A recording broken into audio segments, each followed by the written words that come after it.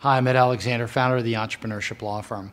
In this video, we're going to talk about what work, what legal work needs to be completed prior to taking on an investor. So the first and perhaps most important thing is to create the right capital structure and to put in place a founder's agreement. Now, these two things are important because, hey, we need to have a, the right number of shares in order to be able to bring on the investor and issue those number of shares to the investor. We need to have the capital structure necessary to give the investor the protections, the preferred type of uh, arrangements that they're going to want to have to know that they get their money out first of the deal. Next, the founders agreement is critical because we want to make sure that no shareholder can put a veto on growth or a sale of the business.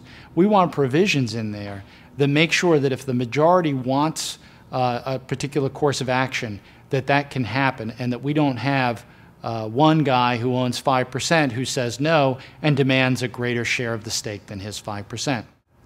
When we have sweat equity shareholders or sweat equity founders, it's even more important because we need to know that as we give those shares uh, to those founders that they're going to pay the taxes that are due on those shares and at the same time uh, that they're going to follow through and do what they say they're going to do. Uh, unfortunately, I see a lot of entrepreneurs who come into my office with a, a former partner of theirs or former co founder who said that they would code the software, build the website, whatever the case may be. They never did it, and there they sit holding 20 or 25% of the capital stock of the company. And that's just a drain on everybody. And then finally, we, in the founders agreement, we need to have management provisions. We need to make sure that uh, there is a specific number of members of the board of directors, that the founders hold certain key positions unless they do something wrong, uh, and that everything uh, gets taken care of there. Now, uh, in terms of completing items, we also need to make sure that the intellectual property of the business and all of its key assets are actually transferred to the corporation uh, by a bill of sale so that the corporation is the owner.